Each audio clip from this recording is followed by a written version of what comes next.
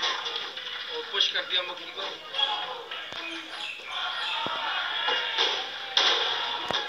और ये और ये घूमने वाले हैं